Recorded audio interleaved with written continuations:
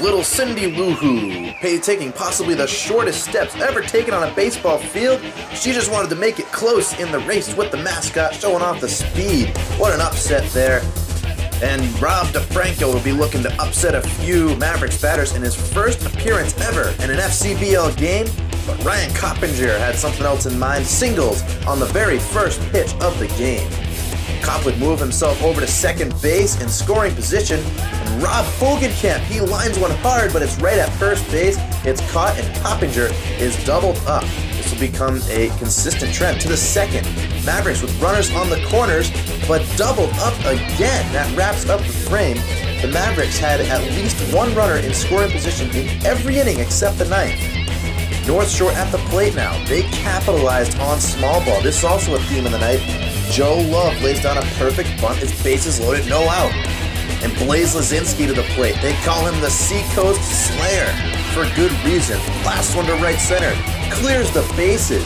It six RBI in the last two meetings with a home run and now a triple for Lazinski. But hold on a second. The Navigators looking to load the bases in the third, but Rob Hogenkamp said no. Diving stop throws to second on his backside and gets Biggio. Now offense coming all day for TJ Lynch. He was doing it. What a smooth swing he's got going right now. Starts the top of the fourth with a single to right. Clay Ardiser would work his way over to third.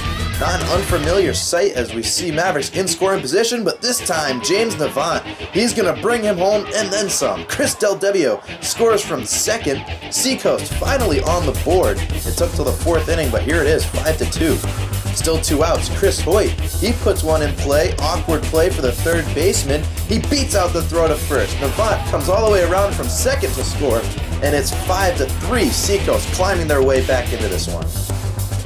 But the Mavericks still not done in the fourth frame.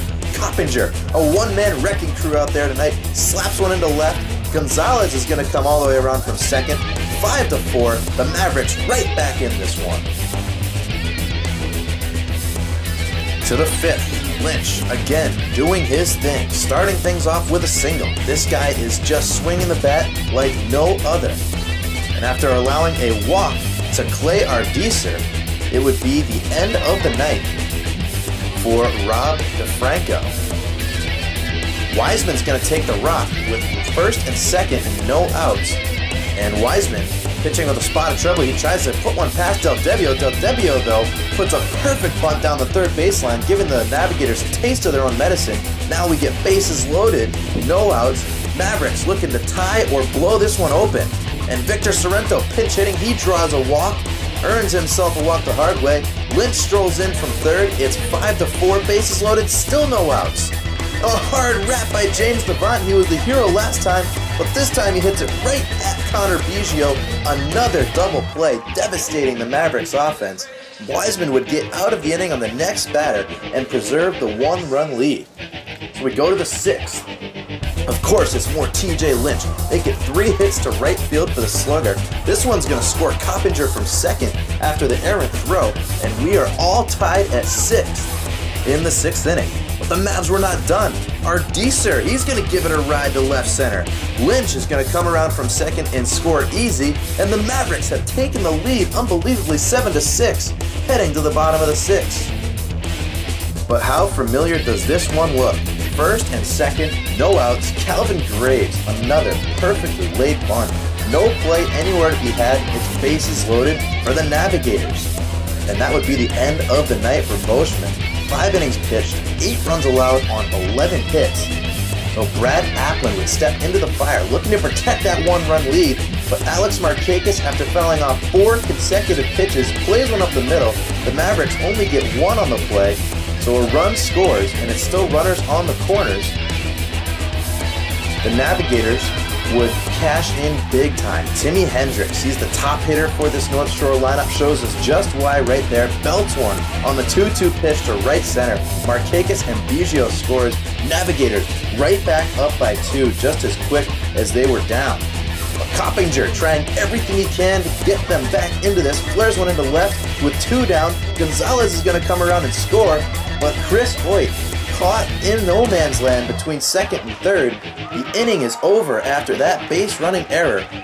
And Chris White will have to learn you gotta be easy when you're going around the bases, especially when you're playing down one. Such a crucial run the Mavericks left off the field.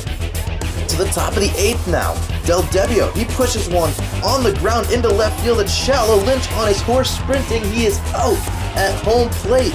Unbelievable. Another Maverick thrown out in a tough situation. The game tying run is held off the scoreboard, and the Navigators hold on one more time and that would be the last chance Seacoast would get. Kyle Gauthier in for the close. The Mavericks stood no chance against him. Perfect placement on the outside corner, back-to-back strikeouts. Navigators take this one by a final of 9 to 8. They own the season series 6 to 2. No surprises here in the box score. Coppinger, a great game, 4 for 4, raises his average to 360. Here's what manager Dave Adam had to say after the game. Yeah, a little short. Uh, yeah, we hit the hell out of the ball today. Um, scored a lot of runs. Um, you know, a couple of mistakes um, trying to field ground balls, little bunts, kind of hurt us a little bit. I think it cost us a few runs if we could have handled uh, some bunts the right way. You guys are two and six against the Navigators. What is it about this team that gives you so much trouble?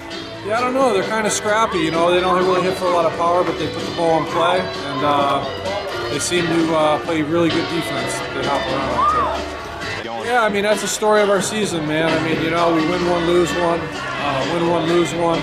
We haven't been able to really break through that over that 500 mark to really get rolling. So, um, yeah, I mean, all we can do is uh, try our best tomorrow. And it certainly was an important game for the Mavericks, who were looking to make it three in a row. Instead, they fall two games back of the Brockton Rocks and the Pittsfield Suns, just one and a half games behind Old Orchard in that last playoff spot, but it's an uphill battle from here. Three games against the Rocks that could be good for the Mavericks, but the league leading Sharks and then two against the Silver Knights. It is a tough road, and then traveling to North Shore again, a place where they have only won once all season long, before wrapping things up with the Dirt Dogs on August 10th at home. Well, that's going to do it from Fraser Field here on Thursday night. Another tough, heartbreaking loss for the Mavericks to the North Shore Navigators. Navigators certainly have their number this year, but the Mavericks will look to continue to push towards the playoffs. It is not over yet. Less than 10 games left in the regular season. Continue to follow this team on the website, seacoastmavericks.com. Craig Riotto signing off on another episode of Maverick Spotlight. Have a great start to your weekend this Friday, and we will see you with more baseball video highlights on our next show.